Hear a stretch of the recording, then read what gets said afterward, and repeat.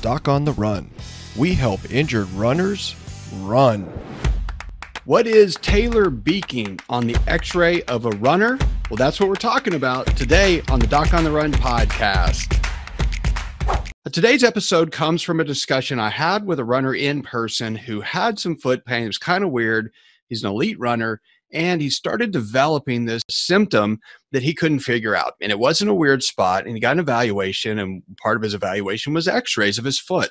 And when we got the x rays of his foot and we were looking at him, he had this thing that we call talar beaking.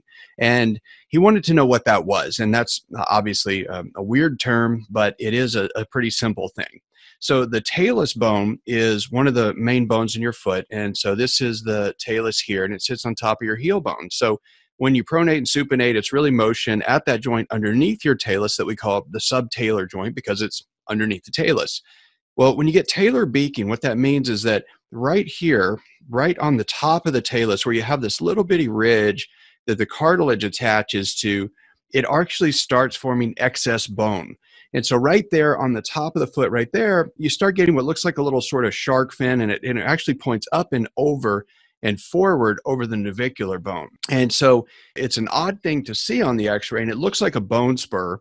And sometimes doctors will say, well, you have this uh, bone spur on the top of your talus. Maybe that's causing your pain. Let's go take it off. Let's go to the operating room and remove it so it's not causing pain.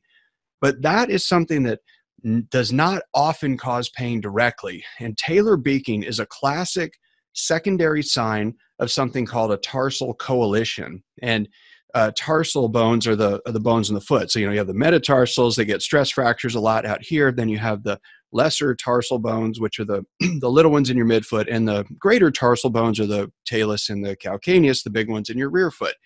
And so the tarsal coalition is just a thing where you get an abnormal union between two bones. And when you get that abnormal union, if it causes pain and stress because your normal biomechanics would allow that motion to happen and it causes stress and strain and discomfort, your body responds by trying to stop any motion that might be painful. And the way that happens is by forming bone around a joint to block and prevent that motion in the joint. So if you start developing a big lump of bone on the top of this joint right here that extends forward over the navicular, it actually stops the motion of the talonavicular joint.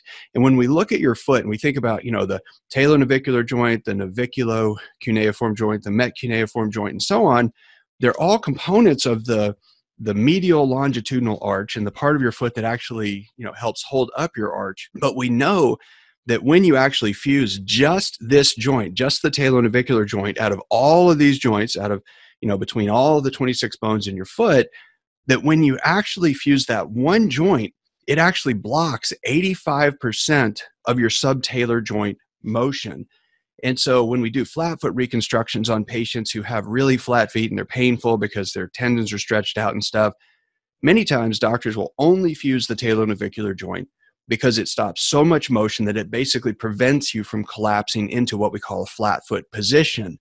The reason I mention that is that that really explains why talar beaking happens. If you have this uh, abnormal union or you have something that's very painful in your foot, even if it's not a coalition, if you have a, a cyst in the bone or some damage in one of the joints, and you're running and you're training and it causes stress and strain and discomfort, then your body will start to naturally form excess bone near one of those joints that will stop that painful motion. That's part of the natural progression of any kind of arthritis is you get excess bone spurring or formation of bone to try to block and stop that painful motion. And that's really all it is when you start to get this uh, bone forming on the top of the talus, on the head of the talus, that we call talar beaking. So, if you have an x ray and your doctor says, well, you have talar beaking, you definitely want to do something else to assess what is really causing the problem. Is it a tarsal coalition? Is it a cyst within the bone? Is it damage to the cartilage in one of the joints? What is it? Is it post traumatic arthritis? Like, why are you getting that problem? So if you just go and take off the bump, you're not really fixing the problem. You're just fixing one of the things that happened in, as a consequence of some other problem. And that hopefully helps you understand a little bit more about what talar beaking can be on your x ray if you're a runner. Doc on the Run. We help injured runners run.